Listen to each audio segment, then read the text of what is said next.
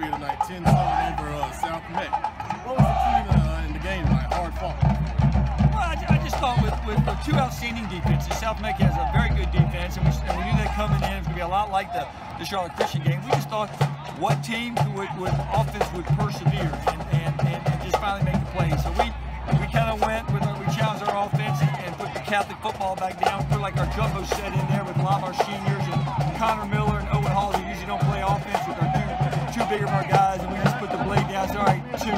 Take Jared and said, all right, man, we'll put it on your back, carry us into the team. And, and, and the guys did a great job of just executing and just willing the way into the end zone.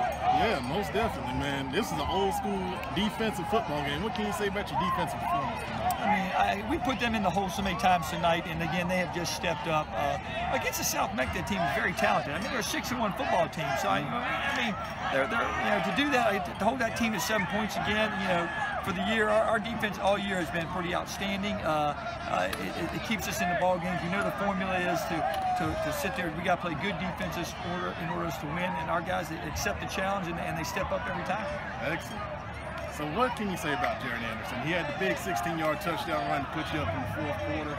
He's been carrying you guys all season long. He's a great player. What, what, can, you, what can you say about him? Uh, you know, that he, he's just a gamer. And when I knew he fumbled, uh, he fumbled the first time last uh, last year against uh, Providence. And I went to him and I said, Yolis won. And he goes, I'll get it back for you, coach. And so I kind of just kind of used the same philosophy. I looked at him and said, hey, Yomi was Yomi won this now, and he goes, "I got you, coach." So I knew that uh, when, once he fumbled, that they were going to get a different Jared Anderson out there because he just has he just has a determination and loves the pressure, and, and, and we can give him the ball every single time, and he, he jumps, just steps up and takes every time and does what he does. Takes puts in. That's awesome, man.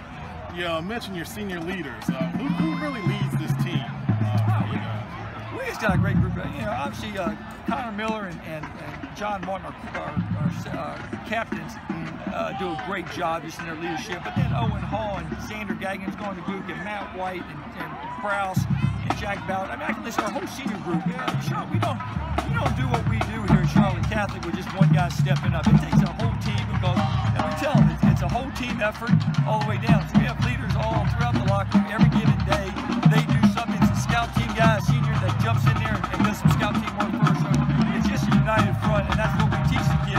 anybody can be a leader at any time, and, and, and they all step up, and, and during the season they, they show the leadership.